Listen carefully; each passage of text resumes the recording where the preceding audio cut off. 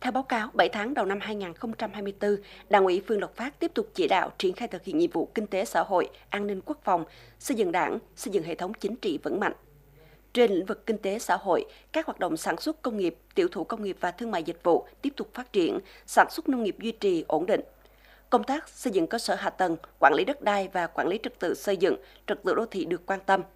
Công tác xóa đói giảm nghèo, chăm lo đời sống cho các đối tượng chính sách, đối tượng bảo trợ xã hội trên địa bàn luôn được đảm bảo. Tổng thu ngân sách nhà nước tính đến 30 tháng 7 trên 4,2 tỷ đồng, đạt 63,2% kế hoạch. Công tác chi ngân sách cũng được quản lý chặt chẽ, chi đúng, chi đủ, kịp thời, đảm bảo chi tiết kiệm 15% theo quy định. Tỷ lệ cấp căn cước công dân đạt 97,65%, thu thập định danh điện tử đạt 82,25%, kích hoạt số tài khoản thu nhận 89,83%.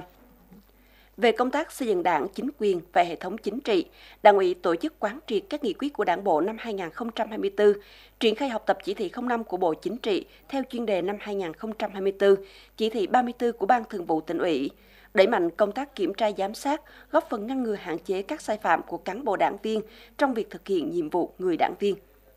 Từ đầu năm đến nay, Đảng bộ phường cũng kết nạp được 10 đảng viên mới nhằm góp phần xây dựng tổ chức đảng vững mạnh.